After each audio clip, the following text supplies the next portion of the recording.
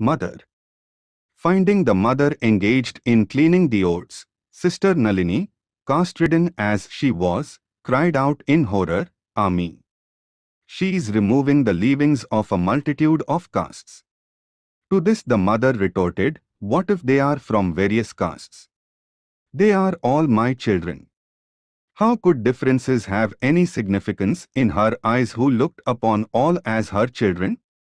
That all-comprehending affection embraced all people, high and low, rich and poor, Brahman and non-Brahmin. The daily removal of oats was a part of the daily routine of the mother. She would not allow the devotees to do this, assuring them that there was no lack of hands for the purpose, and then behind their backs she herself would undertake it. One day at Jairambati, Swami Vishweshwarananda was on the point of carrying away his plate after meal when the mother stopped him and took it away herself. The monk protested, Why should you carry it? I shall do it. But the mother said sweetly and persuasively, What indeed have I done for you? A child even soils its mother's lap and does so many other things. You are rare jewels to be sought for by gods. The other women who lived with the mother never did such a thing, on the contrary they argued, you are born in a Brahman family and are a guru to boost, while these are your disciples. Why do you remove their leavings? That may bring evil on them. The mother answered in her own artless manner, Well, I am their mother. If a mother shouldn't do it all for her children's sake, who else should? A devotee of the Yugi, weaver, caste felt some hesitation in moving about freely in the mother's house. The mother said to him one day, Do you hesitate just because you are a Yugi? What of that, my son? You belong to the master's fold, you are of his family, and you have come here. She further explained that the very fact of her not inquiring about his caste at the time of initiation showed that he just belonged to the mother's home and that, though rural societies were caste-ridden, nobody would raise any question at Jairambati, nor need he be fussy about it at all.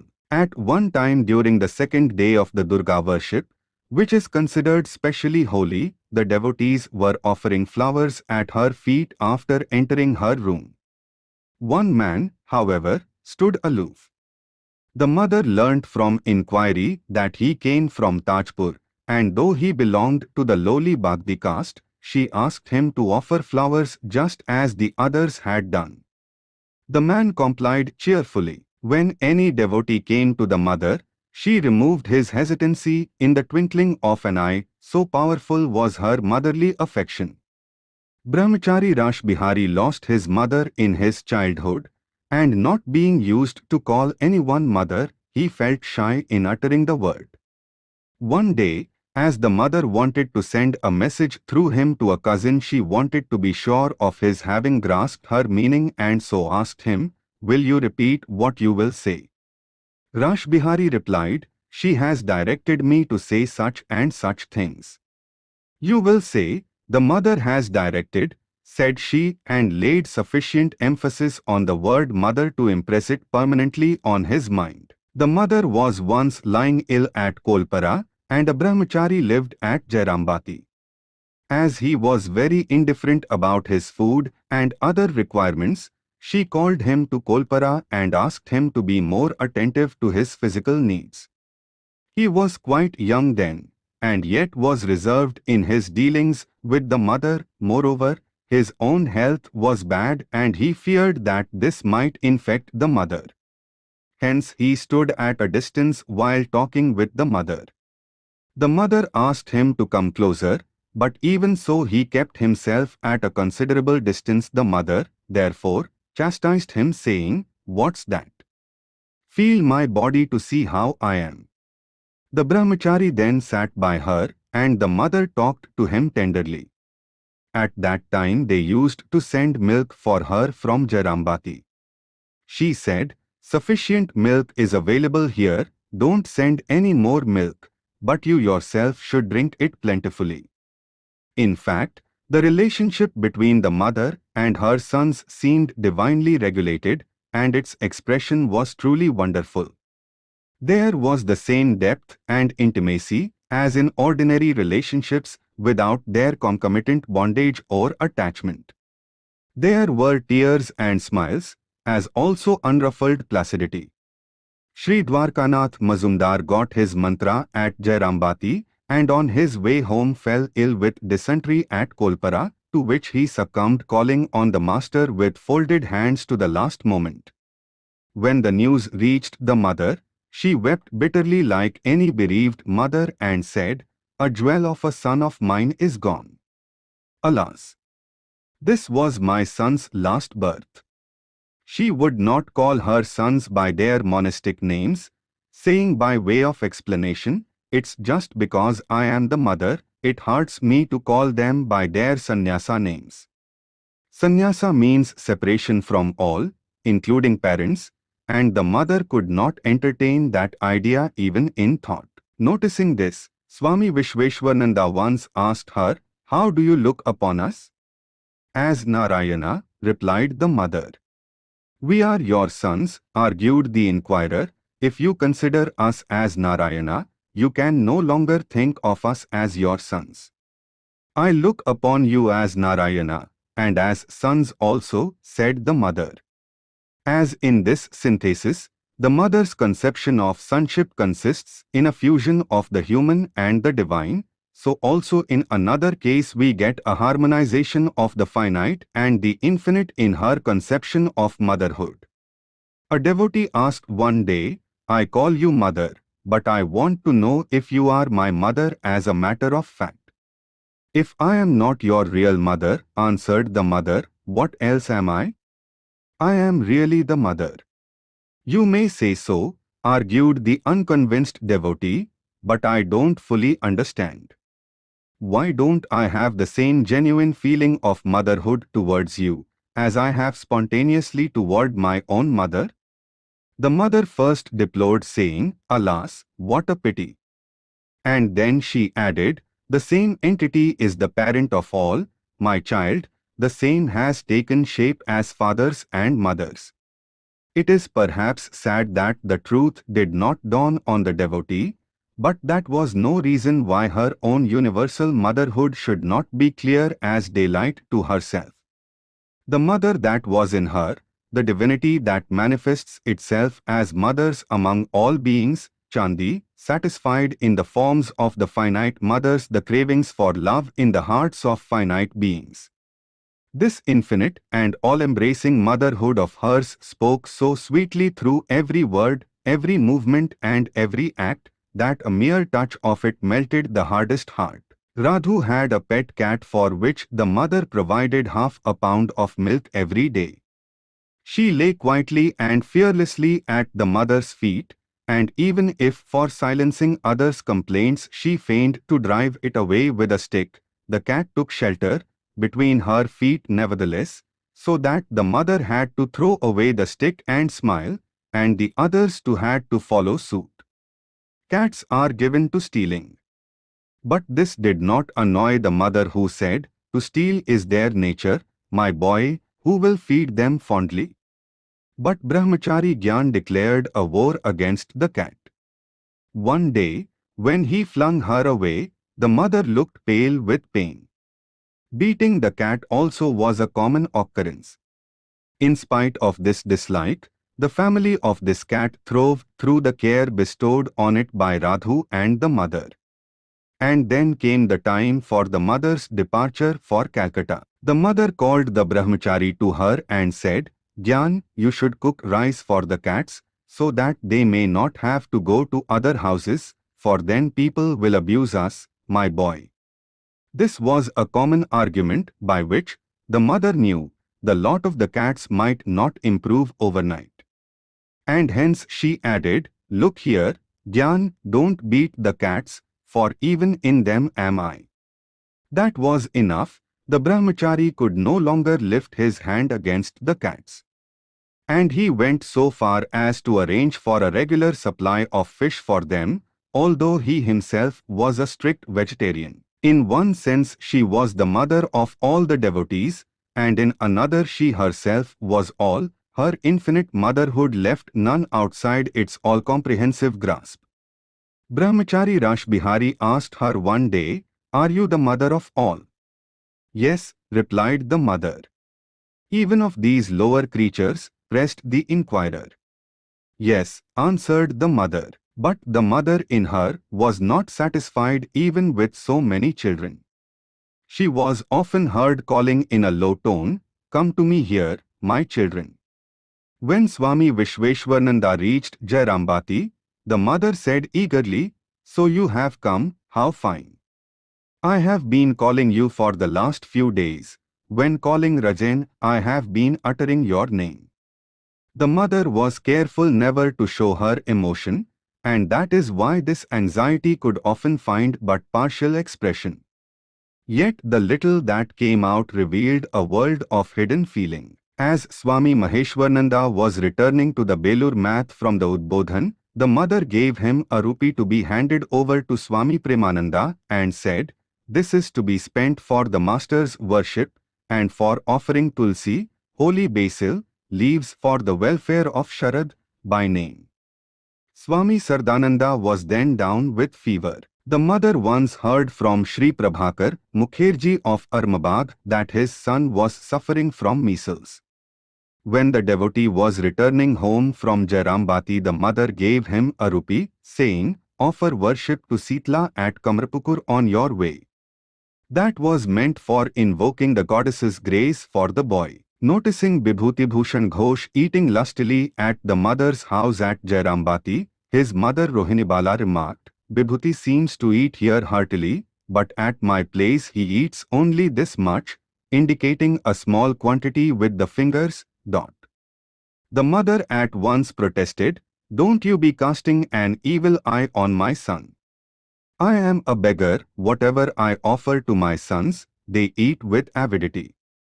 In fact, in her words and manner there was such a genuineness and cordiality that a newcomer felt at once drawn to her. When a woman devotee came to the mother at the Udbodhan, February 1911, the mother said, How are you? How is my daughter-in-law? You didn't come all these days, and I was wondering if you had fallen ill. The devotee wondered how a single meeting for a few minutes could ripen into such intimacy. The matter did not, however, end there. With the greatest affection the mother made her sit near her on the cot and said, It seems, my daughter, as though I have seen you many a time, as though it's an acquaintance of long standing. As the time for the devotees returning home approached, the mother brought her some prasada and holding it to her lips said, Eat. The devotee felt rather shy, but the mother said encouragingly, Why be so shy? Take it. So the devotee took the food in her hands. When at last she bade adieu, the mother inquired, Will you be able to go down? Shall I accompany you? And she went to the staircase to see her off. The same devotee came to the mother in the summer of that year, tired and perspiring. The mother said eagerly, Take off your blouse and let your body be cooled, and as she spoke, she took down a fan and tried to comfort her. The more the devotee protested, Give me the fan, I shall move it myself the more the mother said with affection, Don't you mind that, don't, be a little cooled.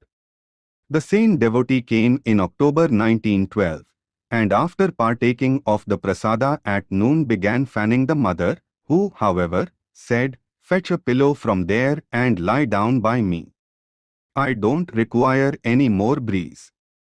Thinking it to be sacrilegious to use the mother's pillow, no sooner had the devotee fetched one from Radhu's room than the mother laughed and said, That's the mad one's, Radhu's mother's, pillow, my dear, bring the other one, there is no harm in this.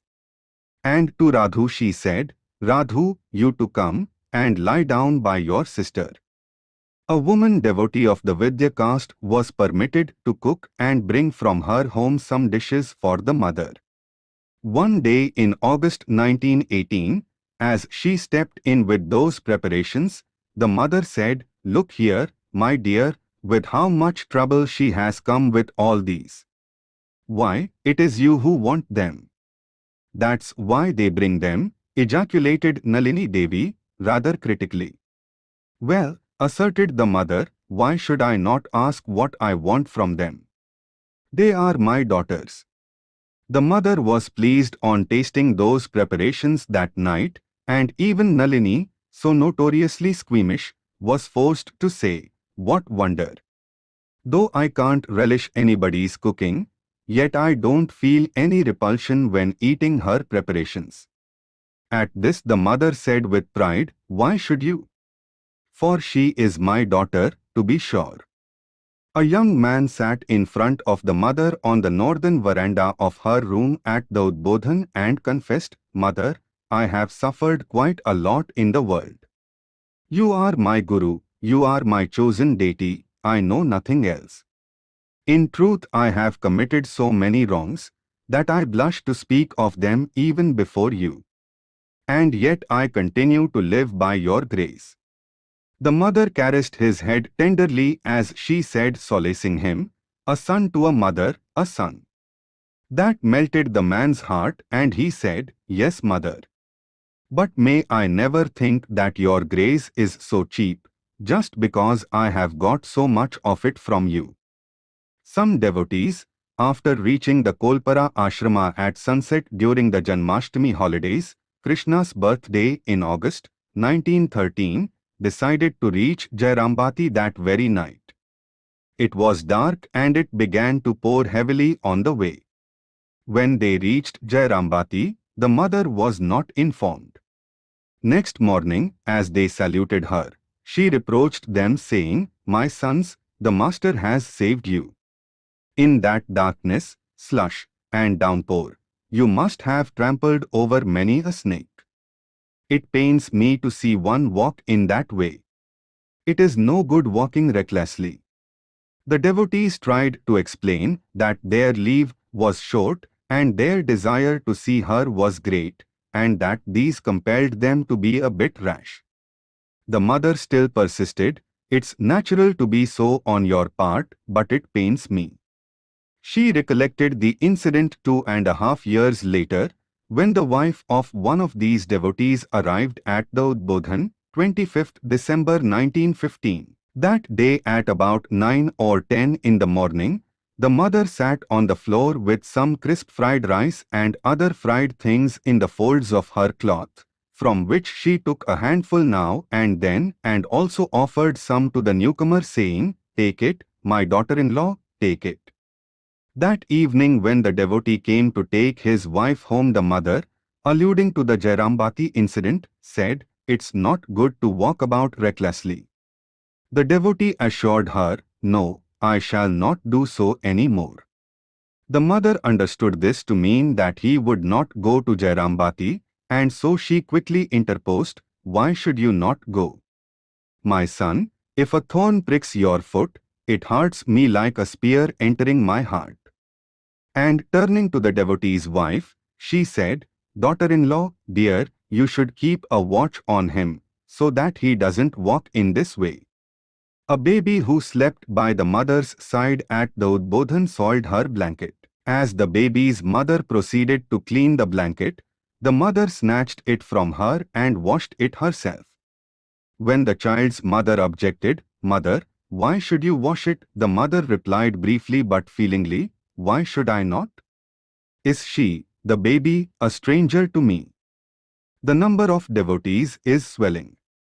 They come to the Udbodhan at all hours of the day, their tastes differ and needs vary. The mother has no rest, and inconveniences multiply. This enrages the outspoken Golapma, who criticize her saying, What's this that has come upon you, mother? You put forward your feet to anyone who approaches you and calls you mother. The mother pleads, How can I help it, Golap? I can't contain myself when one draws near me and calls me mother. This affection of the mother was not confined to devotees alone. It transcended the limits of all social and family barriers and submerged everybody in its resistless tidal rush.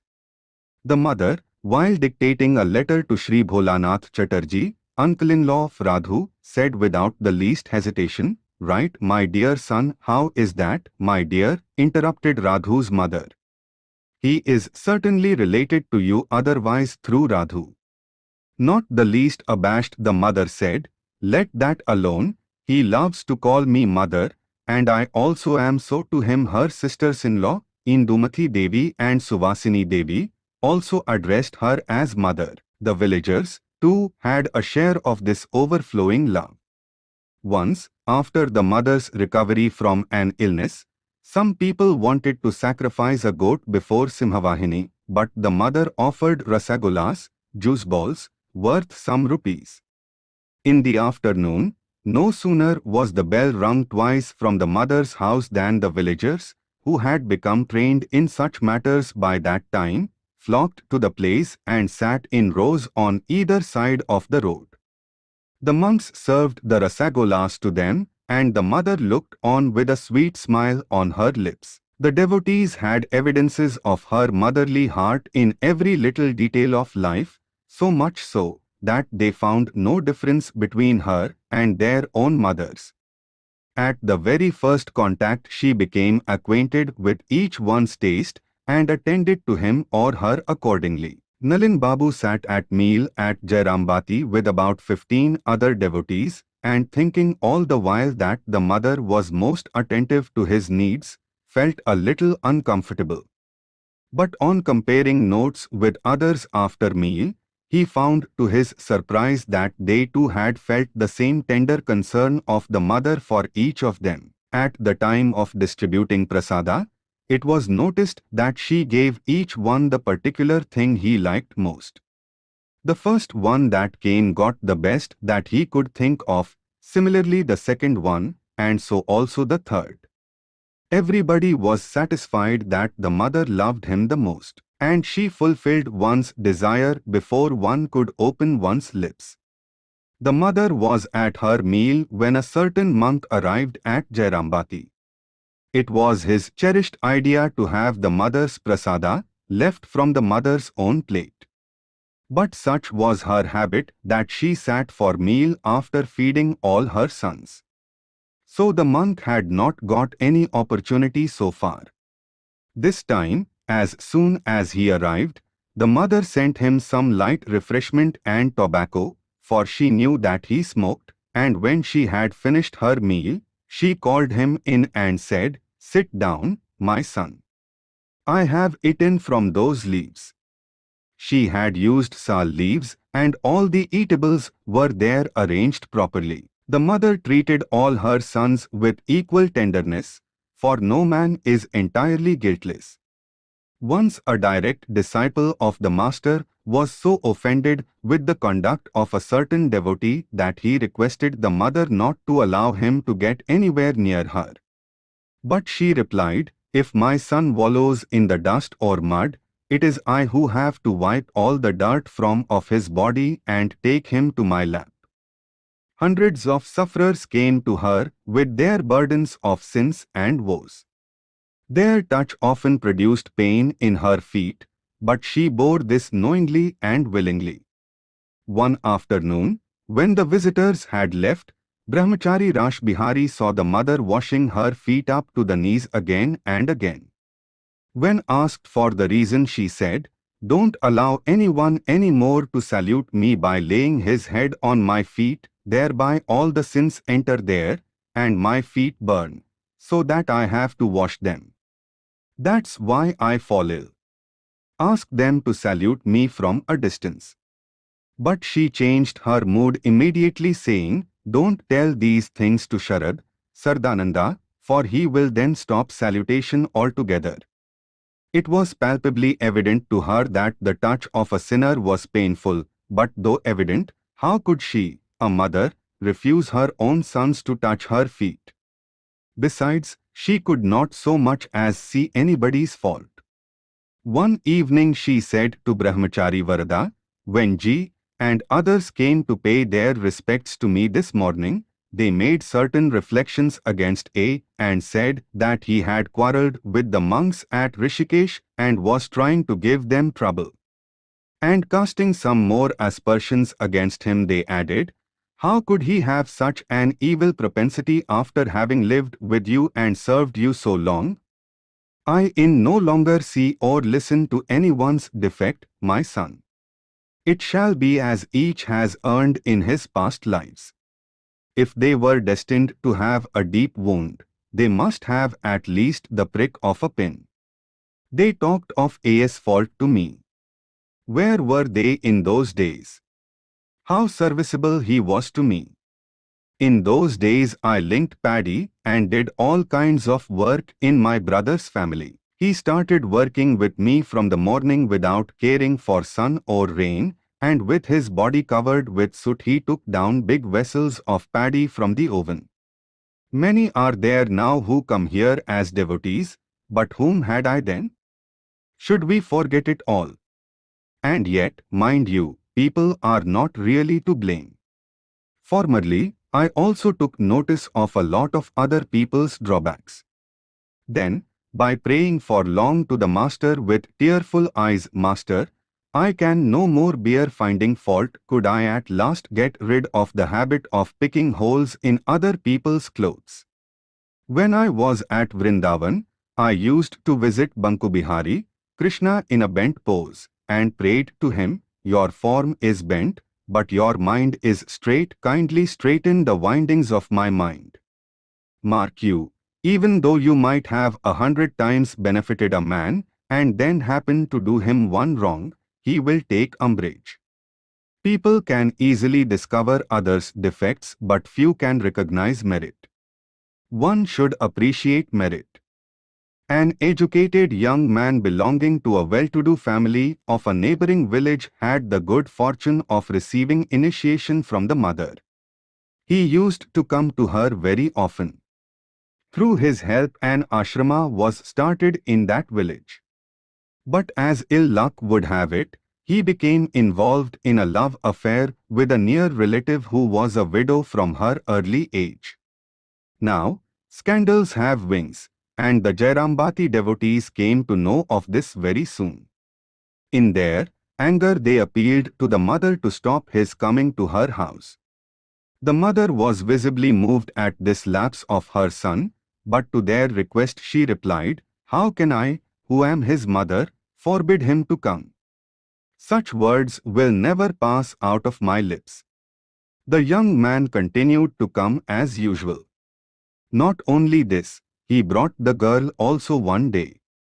The mother reproached her for enticing her son and warned her for the future, but she was as unwaveringly affectionate with her as with any of her other daughters. We allude to another incident which happened much earlier. The mother then lived at the 10 to Bosepara Lane house. A servant had been driven out by Swami Vivekananda for stealing. The man was poor and his family depended on him now he found himself in a most difficult position and ran to the mother at the Udbodhan for shelter. The mother kept him there and fed him. That very afternoon, when Swami Premananda happened to go there to pay his respects to her, she said, Look here, Baburam, this man is very poor. He was impelled by his poverty to do as he did. Should Naren on that score scold him and drive him out? The world is full of misery. You are monks who realize very little of it. Take him back. Swami Premananda tried to impress on her that this would displease Swami Vivekananda. The mother then said with some emphasis, I say, take him as Swami Premananda entered the math compound at dusk. Swami Vivekananda burst out, look at Baburam's thoughtlessness, he has brought that fellow again. Swami Premananda then explained everything, which silenced the great Swami as it became known that even rebellious minds bowed down before the might of her motherly love. The weaker parties defeated in life's struggles used to seek her intervention, and it was found that the stronger ones accepted with alacrity whatever decision she arrived at. One day as she was seated on a cot under a tamarind tree at Kolpara, there came a woman of the sweeper caste who complained that her paramour had suddenly deserted her. She had been living with him after having cut off all her moorings, and now she was stranded. The woman wept bitterly as she related her tale of woe. The mother was moved very much and sent for the sweeper and rebuked him gently and persuasively, saying, She came to you leaving everything behind, and you have accepted her services so long. If you desert her now, you will incur great sin. You won't find a place even in hell. The man's heart was touched at these words, and he took the woman home. The mother's infinite love transcended all limitations of caste or color, merit or demerit, in fact, of all conditions of life. Anyone that took refuge in her was treated kindly, helped with medicines and other necessities, and filled with sympathy. She consciously ignored people's frailties and foibles, and asked others also to do the same.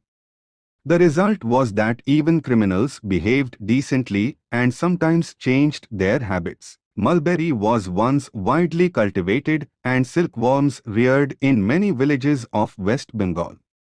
But foreign competition told the death knell of this industry at the beginning of the present century, as a consequence of which many Mohammedan families at Shiromanipur were reduced to penury.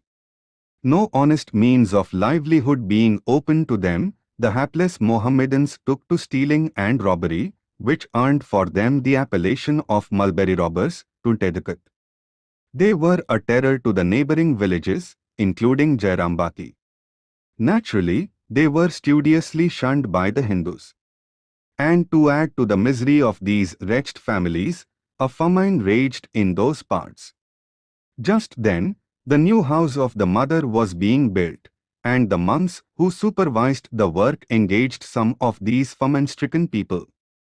The villagers did not take this kindly and often grumbled that the monks were courting trouble for themselves and the villagers. Nonetheless, they had to change their opinion soon and declare, ah, by the mother's grace, the robbers too are becoming devotees.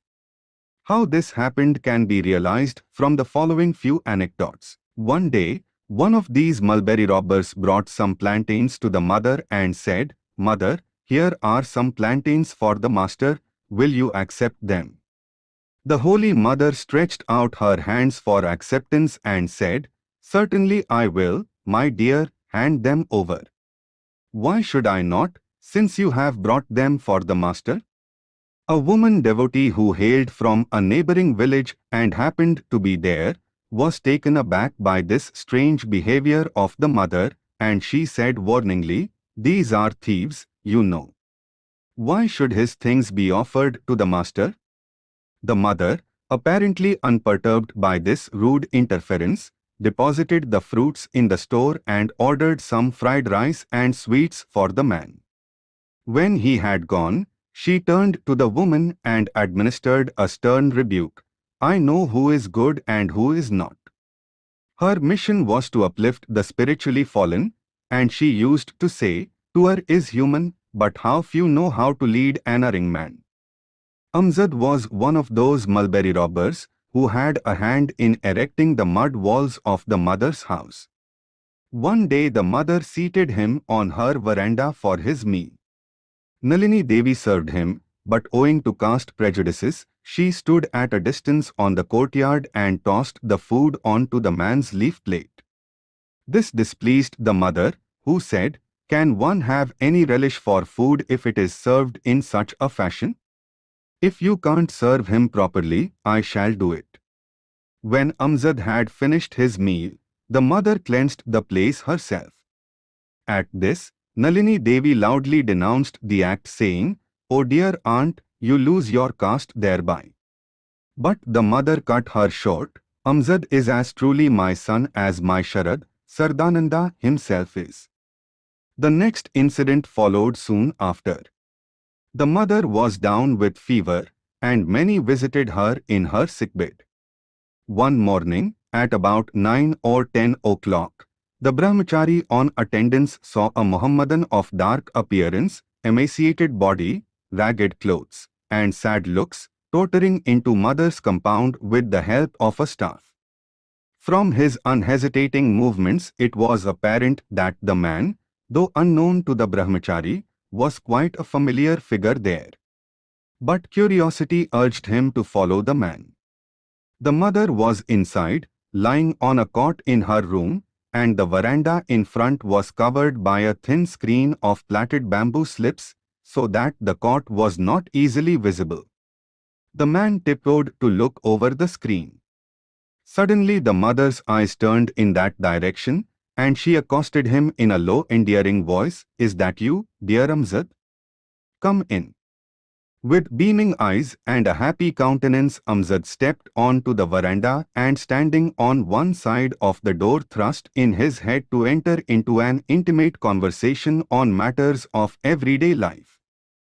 Finding the mother and her son thus engaged, the brahmachari went about his own duties. Not long after, the brahmachari was called in to offer food to the master. The mother herself used to do this when she was well, but now she could not move about, and so the brahmachari had to undertake this ceremony, which, however, was a very simple one. In the mother's room, under the master's seat, was kept some Ganges water which had to be poured into a small ceremonial vessel, technically called Panchapatra, and with this water the food in the kitchen had to be sanctified for being offered to the master. The brahmachari came to take the Panchapatra, but was in a dilemma finding the Mohammedan standing in the only doorway. He could not be told to move away, lest this should offend the mother. At the same time, to pass closely by a Mohammedan, with the holy water in hand militated against caste prejudices and conventions ingrained from childhood in this brahmachari who was a Brahman by birth. He hesitated for a moment and then decided to carry out his duty without minding the man's presence, depending on the mother to dissuade him if there was anything wrong in his move. He took the Panchapatra and stepped out. After the offering he returned with it and placed it where it was. Amzad was all the while at his post. The mother noticed everything but said nothing. As Amzad was leaving, in the evening, the brahmachari noticed that the man's face was lit up with a happy smile, and he was altogether a changed person. He had bathed and rubbed oil all over his rough skin, then he had a full meal, and now he chewed betel and areca nut as he walked home. In his hand was a phial of indigenous medicine, and in his bag were many titbits. The mother told the brahmachari Amzad's brain has become heated as a result of taking stimulants. He has no sleep at night. I had with me for a long time a phial of Narayana oil, which I have given him by using it his brain will be cooled. It is a very efficacious oil Amzad soon recovered from his illness and was always at the mother's service. If anything had to be done, the moment word was sent to him, he would faithfully carry it out. For instance, when the mother lost her appetite as a result of protracted fever, her physician recommended pineapples, which were by no means easily available in those parts and in that season. So Amzad's services were requisitioned, and he soon brought the pineapples, as if by magic. But in spite of this divine affection of the mother, Amzad could not free himself wholly from the habit of thieving and robbing, and so the people of Jairambati were afraid of him, though, as a matter of fact, that village remained free from the attention of those mulberry robbers, evidently through Amzad's good offices. Often enough he was in jail, when his wife would run for help to the mother who would give her whatever lay at hand. This love was heartily reciprocated by Amzad. Once after his release from jail, he found on returning home a number of goods hanging down from his thatch. He plucked some of them and proceeded to Jairambati. The mother, delighted to see him, said, I have been anxious because of your long absence. Where were you? Amzad explained that he had been arrested on a charge of cattle lifting, and so he could not visit her. Unmindful of the explanation, the mother said with a sigh, Ami, I have been really worried. When the Holy Mother was in Calcutta during her last illness, the news reached her that Amzad had been apprehended on a charge of robbery after having absconded for some time. At this information she said, Ami. Look here, my dear, I knew that he was an adept in robbery. It is said that after the passing away of the mother, Amzad received a cut from a sword in an act of plundering. This wound developed into a sore and ultimately caused his death. The mother knew this man's character well enough and she also knew it to be her duty to protect her household and her village from people of his trade. But the method she adopted consciously through the promptings of her motherly heart was not only unique but also effective. It won the robber's heart and brought for her a result that even mightier people with ampler resources would have failed to achieve. She did not rely on arms or manpower, but on the power of love which softened the hardest criminal and which brooked no interference from caste, prejudice, or fear. If we illustrate the mother's life merely with citations from her relationship with cultured, intelligent, and affluent devotees, some may think this is not very extraordinary. Hence it is that we have dealt with Amzad a little elaborately.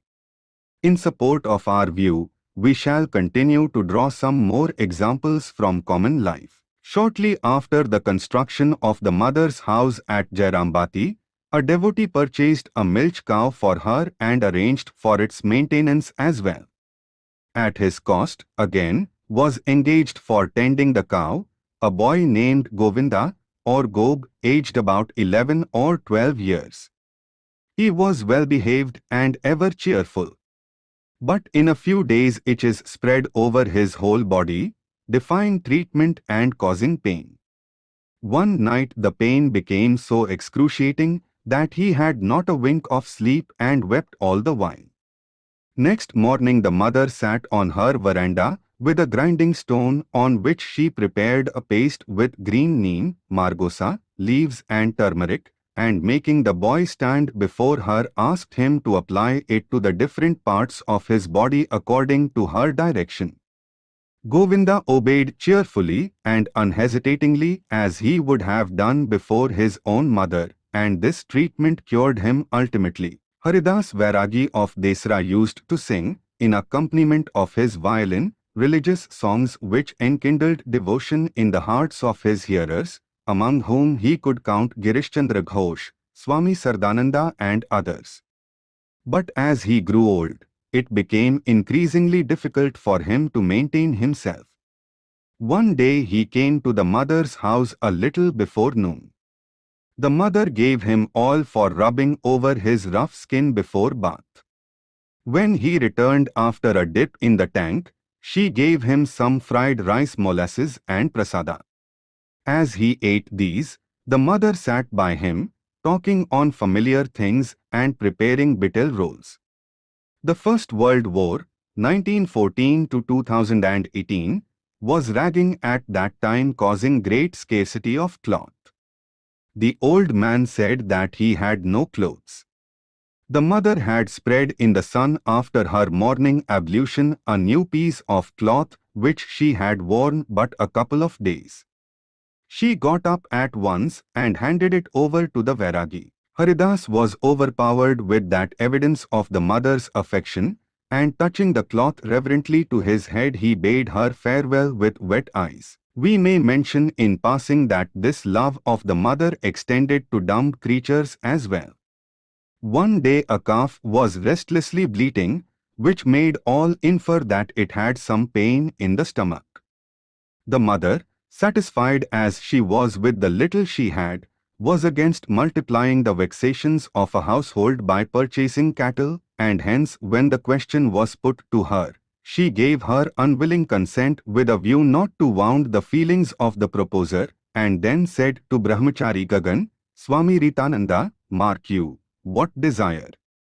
As though she was witnessing from a distance, without any personal concern, the intricate workings of people's minds engrossed in worldly dealings. And when the cow came, she remarked, He has only left us in greater trouble by purchasing the cow. Nonetheless, she meticulously supervised everything concerning it and its calf. The calf went on making an uneasy noise which set everybody at thinking and they tried various remedies without success. The bleating brought the mother also there. She sat by the calf holding it in both arms and softly pressing its navel and patting it, as though it were her own child. A little later it calmed down, and all returned to their respective places. In the mother's house there was a manna, a talking parrot, named Gangaram.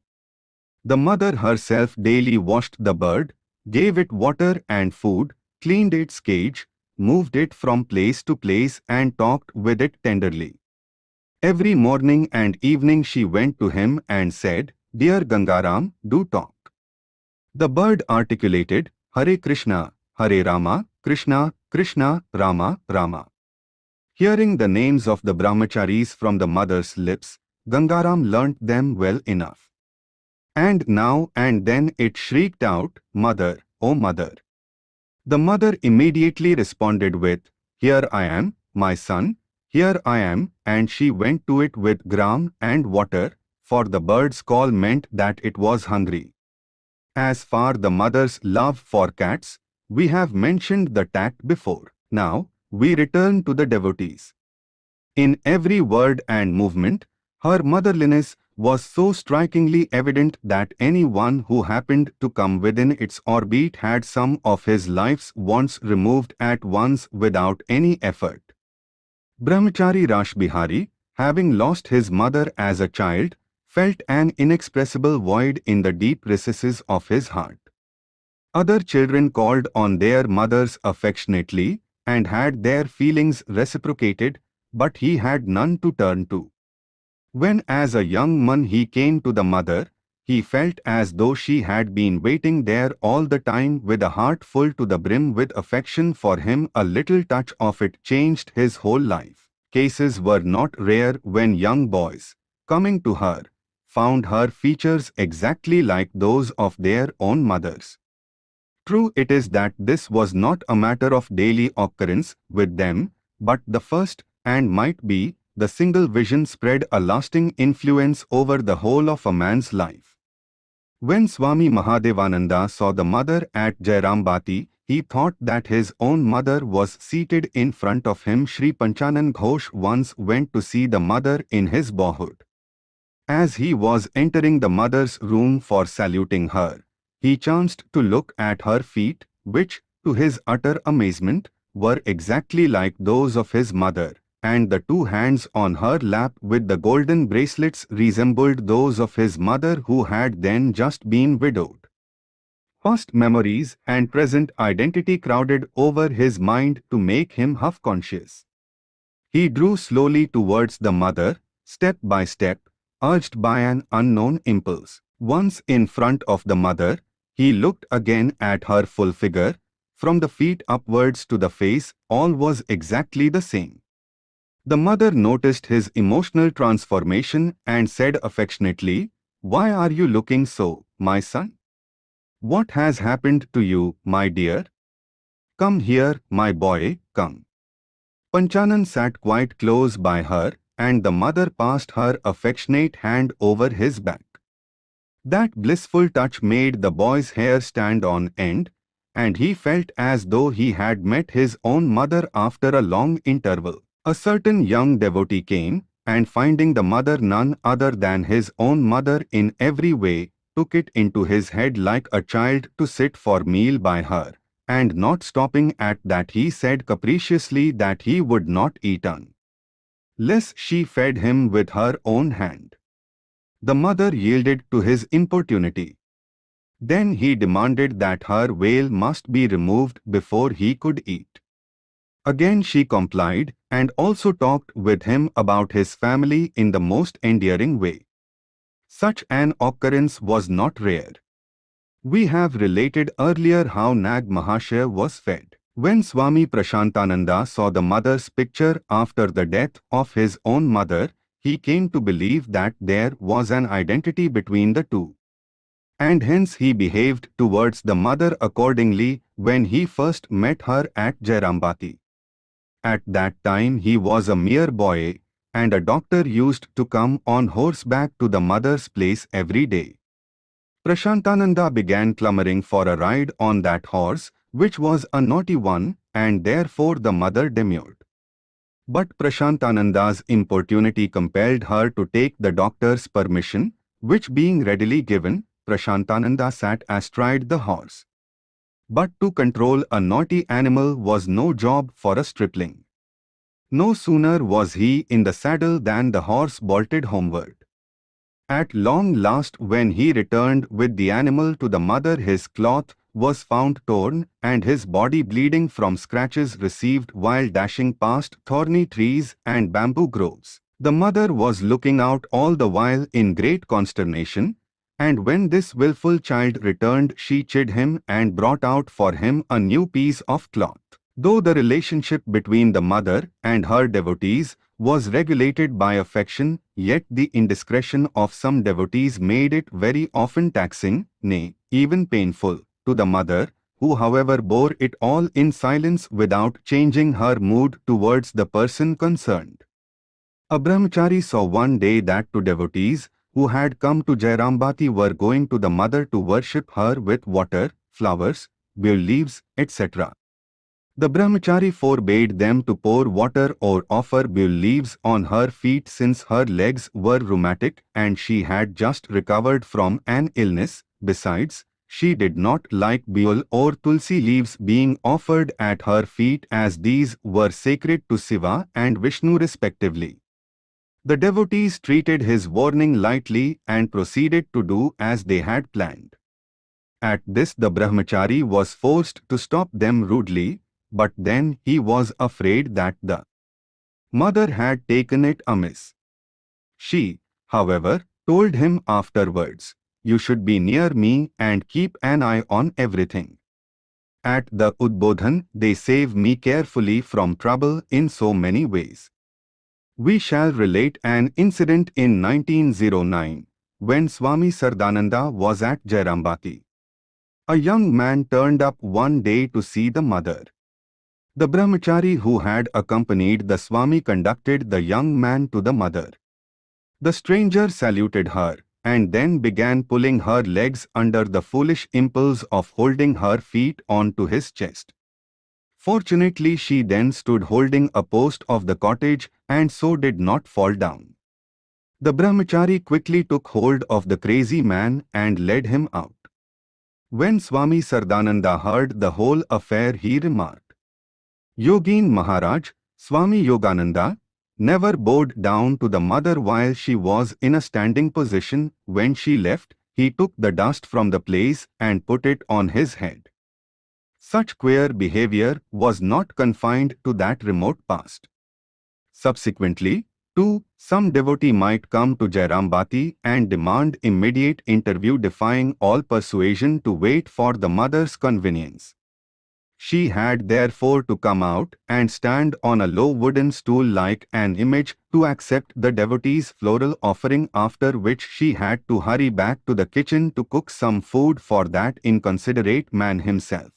A devotee expressed a desire that since he would be leaving for home in three or four days, he would like to have some rice from the mother's plate, dry it and carry it home as her prasada.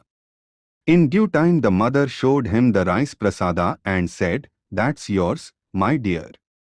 The food was in a brass plate, and the devotee put it in the sun for drying.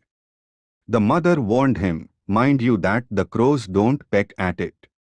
The devotees assured her that he would be returning immediately to watch it, and he went to the outer apartment for a smoke, in the course of which he forgot everything and then fell asleep. When he woke up at 3 in the afternoon, he remembered the plate and hurried inside to find, to his utter confusion, the mother still sitting by it. Didn't you have any rest today, mother? faltered the devotee. No, my son, replied she. I kept watching, lest that thing of yours should be pecked by crows. A woman, when taking leave of the mother, bit her big toe. The mother shrieked out in pain, Hello, my dear, what kind of a devotion is that? If she wants to bow down, let her do so, but instead, she holds my toe in her teeth. It's just to make you remember, explained the woman. I never saw, said the mother, such a device for making one remember. Some devotee might hold fast the mother's feet and plead, Mother, do promise me that you will show yourself to me at least at the time of my death. The mother replied, Very well, I shall pray to the master that he may vouchsafe his presence. But the devotee still kept his firm grasp on her feet till at last the mother found no means of escape but to say, Yes, my son, it shall be so. Brahmachari Varada had gone to a distant village to procure fuel. When he returned to Jairambati at nightfall, he found the mother lying on a mat in the veranda. As the brahmachari approached her she said ruefully, You all are here, and yet you have to go out on business. Today there came a man, somewhat advanced in age. Seeing him from a distance, I entered the room and sat on my cot. He saluted me from outside and then became eager to take the dust off my feet. The more I said, no, no, with modesty, the more he pressed. At last he took the dust almost by force. From that time I am suffering from a burning sensation in the feet and a pain in the stomach.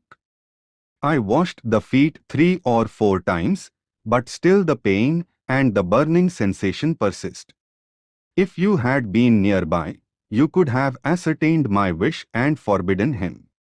The strictness that they enforce in Calcutta with regard to the devotees cannot wholly be dispensed with.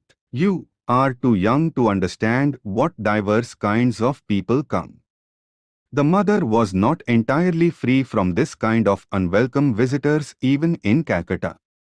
One day, as the mother rose from her seat after finishing her worship, a devotee came with some flowers to offer them at her feet. As the man was a stranger, she covered herself fully with a wrapper and sat on a cot with her feet hanging down. The devotee got his opportunity and began worshipping her to his heart's content with all the elaborate processes and mantras that the scriptures enjoin, unmindful of the fact that the mother was perspiring all over, though she could not utter a word.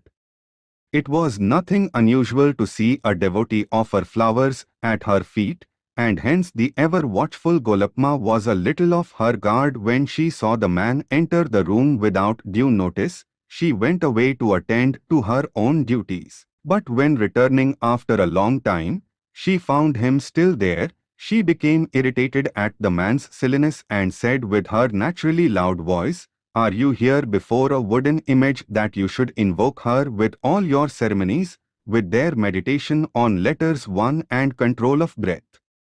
Don't you see that the mother is sweating uncomfortably? And she sent the man out.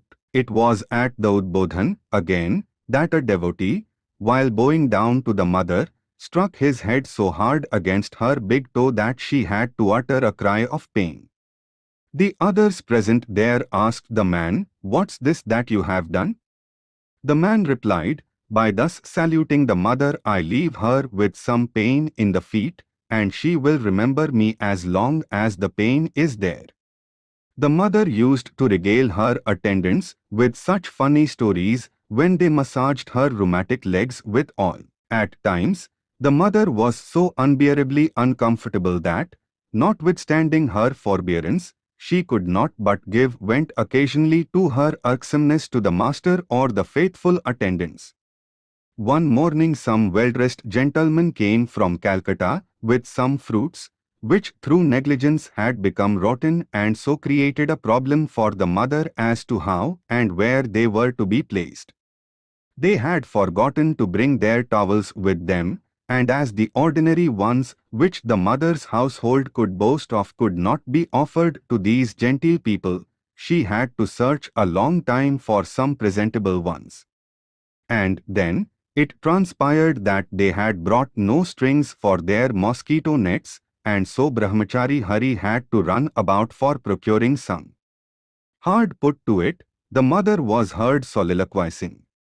How pestered I am by all these people. I am fed up with it all.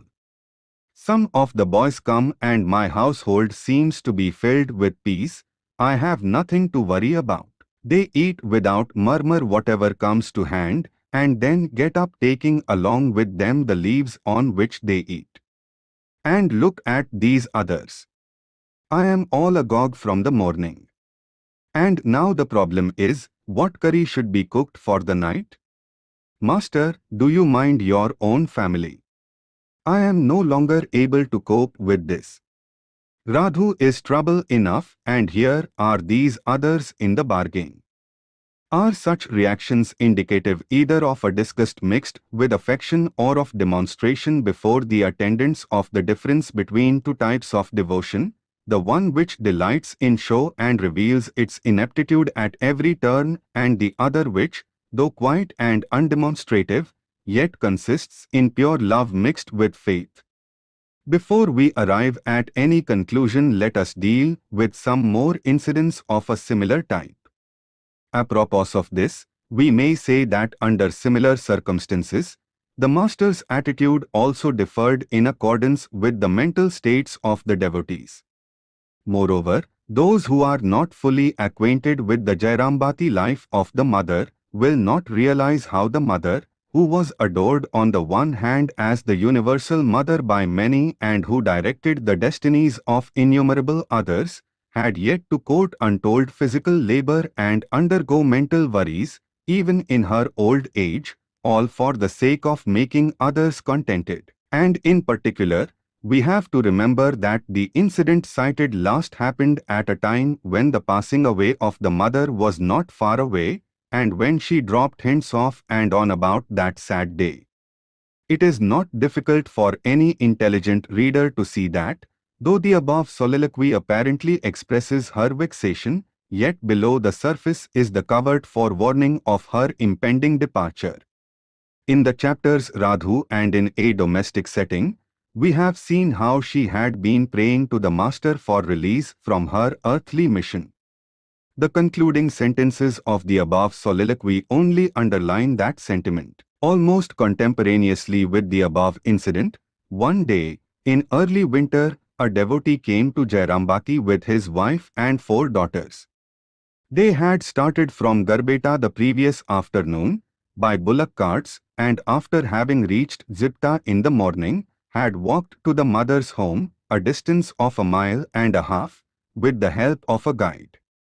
All the children were very young and one was a suckling baby suffering from malaria.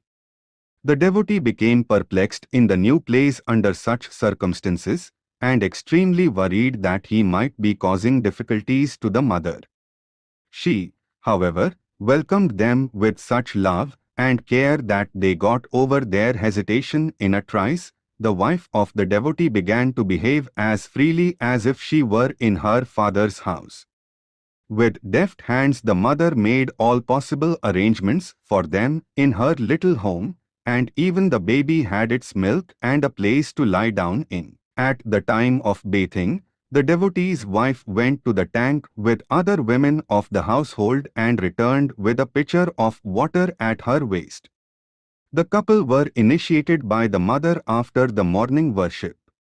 The party had to go to Talit in the Burdwan district, a long way from Garbeta which it takes three nights to cover. So they started on their journey after their midday meal and a nominal rest at Jairambati. At the time of departure they, as also the mother, shed tears, and the mother called on goddess Durga for their safety on the way, and then stood at the place looking out after them till they went out of sight. Then she went inside and sat on Nalini Devi's veranda, saying regretfully that, though her children had come from a distance facing all the troubles of the journey, they had to leave quickly without rest, or even a little hearty talk, or any good food. Just then somebody saw a bath towel left there by mistake. The mother said with sorrow, It's so natural to forget. They couldn't stay even for a night, and didn't have a chat. Does the mind want to go away like this? And so mistakes are inevitable. Seeing the mother sad, Brahmachari Gopesh suggested that as the devotees could not have gone far, he could catch them tip and give them the towel by walking fast after them, he did so with the mother's consent. But on returning he found a second problem had cropped up. A woman of the household had found a cloth piece of the devotee's wife drying in the sun on the tank behind. She brought it in and then went on cutting jokes at the expense of the forgetful wife. A childless woman joined in the joke saying, which one should she take care of, so many are her brood. The mother saw the cloth piece and heard the pungent remark, but she said with a heavy sigh, Dear me! My child will be missing her cloth tomorrow after bath. When she will be searching for it she will recollect, I left it at the mother's house. Gopesh volunteered to go with the cloth once again, but Nalini Devi disapproved of the idea. The mother, however, seemed pleased at the idea. So he walked up to Zipta and caught up with the party just as the carts were starting. There came a group of devotees from Mymensingh, of whom the leader was an initiated disciple of the mother. As he was in indifferent health and knew that the party's long stay at Jairambati would inconvenience the mother, he decided to leave for home soon after visiting the master's house at Kamarpukur. But as ill luck would have it, he fell ill at Jairambati just after the Kamarpukur visit. The mother's attendants concluded that they should send him by a palanquin to Koalpara to ensure better medical care and to free the mother's house from an avoidable encumbrance.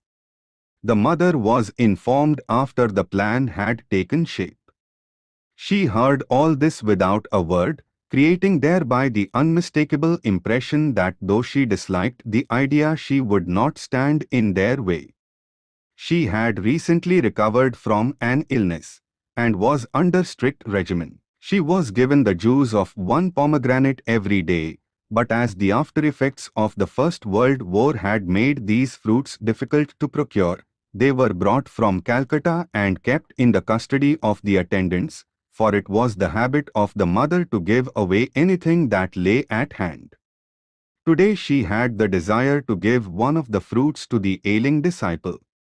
The attendant's protests went in vain, the disciple had the pomegranate and along with it all the good wishes of the mother. The plan was to carry away the patient after the midday meal.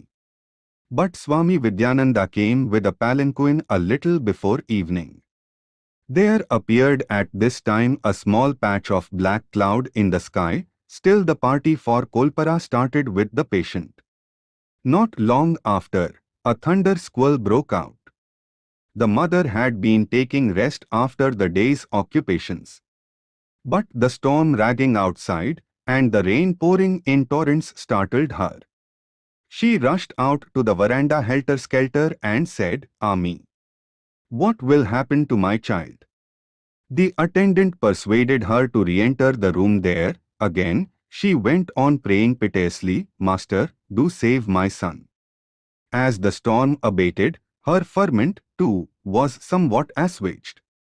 But as the squirrel shrieked again with redoubled fury, the mother, too, made for the veranda and prayed with a choked voice and tearful eyes, Prithi, Master, do be a little gracious, save my child. The whole night passed in anxiety. Next day, when Vidyananda came to inform her that they had taken shelter in somebody's drawing room at Desra during the storm, so that they had no trouble whatsoever, then only was the mother's heart composed. Devotees came with diverse demands, and the mother, with her resourceful ministration and never-failing love, satisfied all these capricious children. Their childish whims were mostly in evidence at Jairambati, where the mother freed herself from all the unnatural restrictions of a cultured urban society, and the devotees found her more readily accessible than at the Udbodhan where a strict vigilance was enforced. Many devotees, therefore, kept themselves informed of the mother's movements and flocked to her village home when she happened to be there. From the point of view of the mother, there was a difference between Calcutta and Jairambati. In Calcutta the monks and Golapma and others had charge of household duties and of looking after the comforts of the devotees. Thus the mother was not directly occupied with these duties. At Jairambati, on the contrary, everything rested on her. The devotees came to take mantra or see the mother, but she had to keep a constant eye on all kinds of provision for their food, accommodation, conveniences, and necessities. This service of the devotees became something of a second nature with her. It might not have appeared as anything extraordinary, but we wonder how unassuming and diligent is the life of that unique personage who was none other than the Universal Mother, who was adored as such by thousands of devout people, and through whose mind and body was enkindled in the beginning of the 20th century a mighty force which has addressed itself to the task of human regeneration and is calculated to be so occupied for ages. And how charming does that life become through a unique mixture of rural simplicity with unquestioning love. In the field of spirituality this is altogether a rare phenomenon. Facts are indeed stranger than fiction. The devotees came at odd hours, and that also without notice. Often enough they were strangers, though their dress and bearing revealed their culture and high social status. The villagers would look on them with amazement or hang on them with curiosity. But the mother who was the center of that mighty force that attracted all these high personages was oblivious of the commotion around her, and like the village girl that she was, she was ever engaged in various duties for them in and about her little cottage. Some of the newcomers were accustomed to taking tea soon after leaving bed, and so she would limp about with her rheumatic feet to get some milk from somebody's house whose cow may have been milked by then vegetables were not easy to procure in that hamlet. The little that she had collected from distant villages would sometimes run short because of the sudden influx of devotees. The mother would go on searching from house to house for some more for immediate use. In the remote place nothing more could be had for refreshment than mere fried rice and molasses. The mother, therefore, would carefully stock semolina, suji, with which she prepared halwa. And after offering this preparation in the morning to the master together with some fruits, she would deal out the prasada in small cups for the breakfast of her children. Whenever her stock was exhausted, she would hand over to them cupfuls of fried rice, cucumber, and molasses. The cultured devotee would protest, What's this stuff that you give me to eat, mother, I am not used to it. The mother would persuade him saying, Nothing else is available here, my son, this is all that can be had. Do eat this, it won't do you any harm. I shall feed you nicely when I go to Calcutta. The devotees from East Bengal were used to eating fish which, however, was difficult to obtain at Jairambati. Still there would be no end to the mother's effort. If she could not procure it, she would feel sad and say, I could not feed my child well.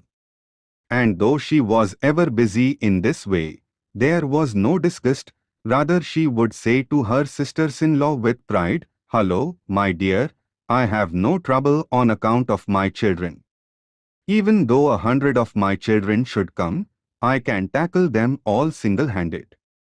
Her motherliness defied all limitations of caste, country and community. Even during the days of the boycott of foreign goods, 1905 to 2011, when people's prejudices against the Britishers ran high, the mother was heard to say, they too are my children, to be sure. The authorities of the Kankurgachi Yogodyana once invited her to visit the place during the Janmashtami celebration and she gladly agreed. But someone who had taken some umbrage against the people there did not like the idea and told the mother so.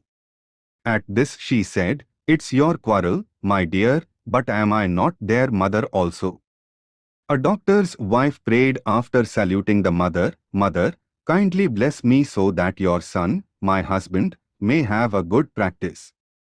The mother gave her a straight look and said sternly, My dear daughter-in-law, to think that I should pronounce such a benediction, that people should fall sick, that they should suffer. Well, dear, I can never do that. Let all be well, let the world prosper. When saluting the Mother of the Universe after bathing, the mother could be heard to pray, Dear Mother of the Universe, do grant happiness to the world. The mad aunt was full of abuse for the mother who, however, totally ignored her vagaries. But one day the aunt happened to say, Thou ruin of all. The mother at once warned her, Whatever else you may call me, don't you call me ruin of all. My children are spread all over the world, such occurs will be harmful to them. We have come across many an incident illustrative of this all-comprehensiveness of her motherliness so far as people of this country are concerned. Let us now turn to a few foreign devotees. At Jairambati, in 1906, she said to the young Brahmachari Girija, Mark you. The master entered into spiritual trance very often. One day, as he came down from a long samadhi, he said, Listen, my dear, I went to a land where the people are all white. Ah! How sincere is their devotion! Could I imagine then that these Ole Bull and others would become devotees?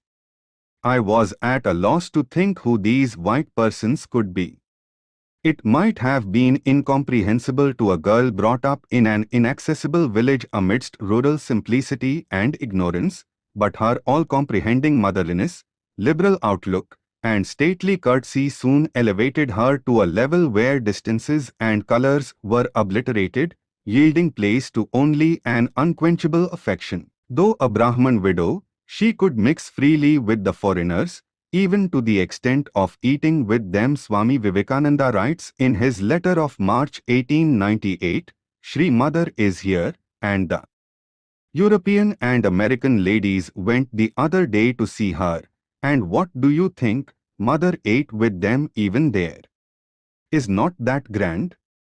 When Sister Nivedita returned from her Kashmir tour, she insisted on being the guest of women so that she might become a part and parcel of Indian society, thereby becoming a fit instrument for the uplift of the country. This was no easy problem for Swami Vivekananda to solve. But the Holy Mother promptly came to his rescue. Nivedita was accepted as a daughter and accommodated in the Holy Mother's house in Calcutta. To whenever Nivedita came to the Holy Mother, the mother seated her by her side and there was no bar to the exchange of genuine feelings which create their own vehicles of communication. One day, when Nivedita came and sat by the mother, the latter presented to her a woolen fan and said, I made this for you.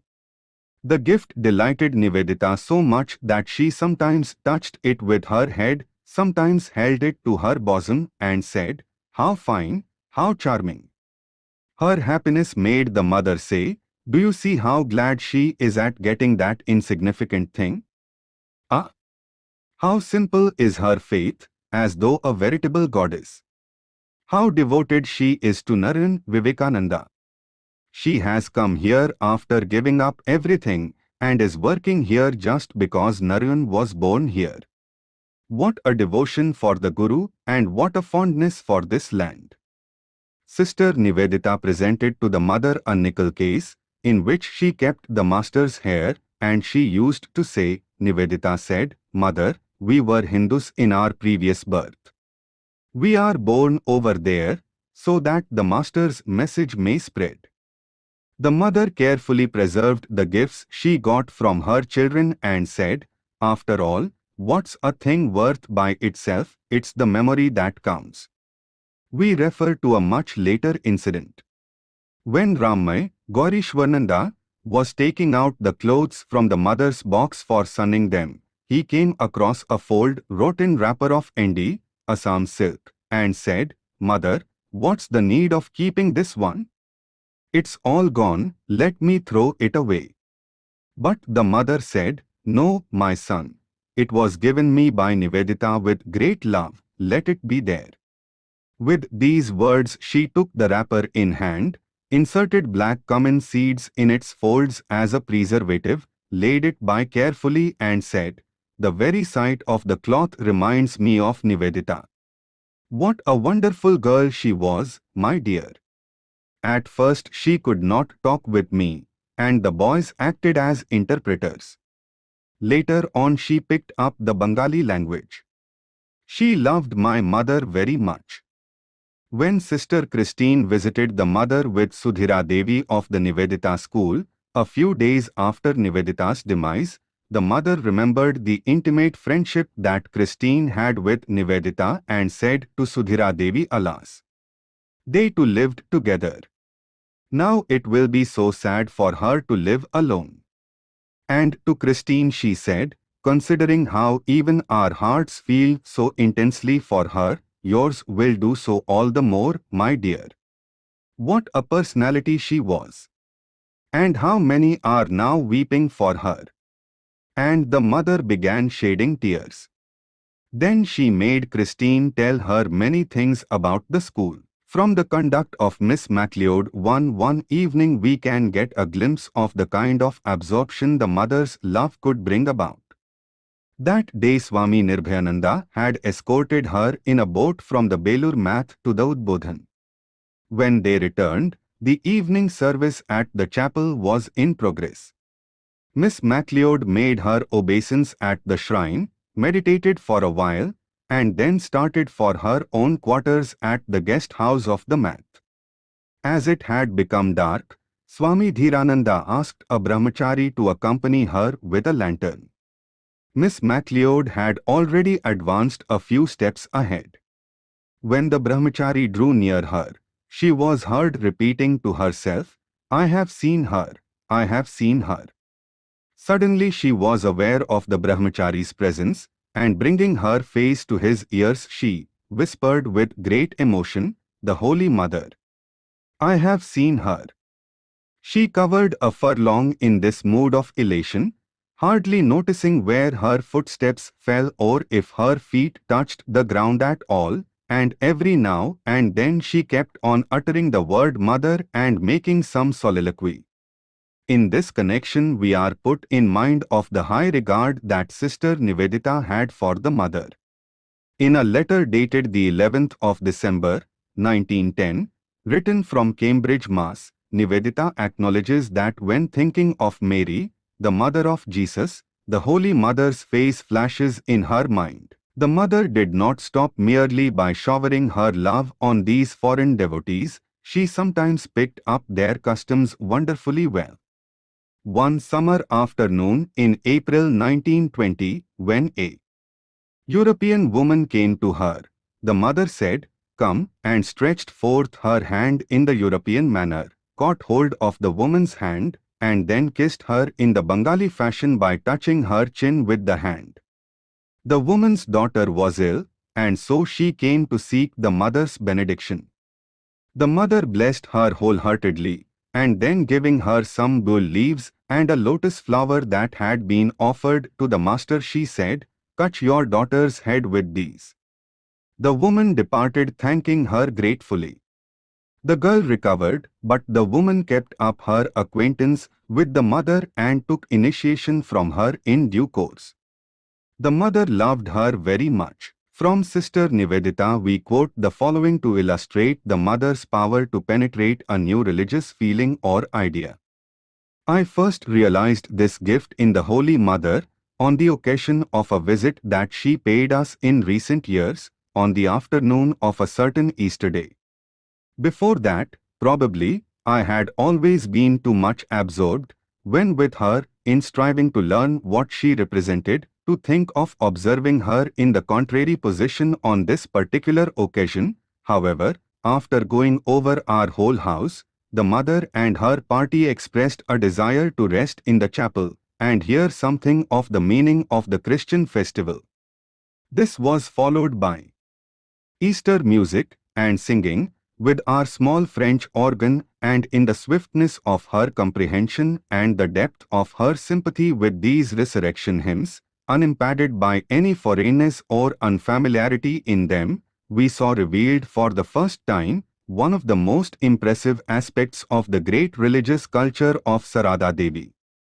The same trait came out again one evening, when in the midst of her little circle the Holy Mother asked Guru Bhagini and myself to describe to her a European wedding. With much fun and laughter, personating now the Christian Brahman and again the bride and bridegroom, we complied.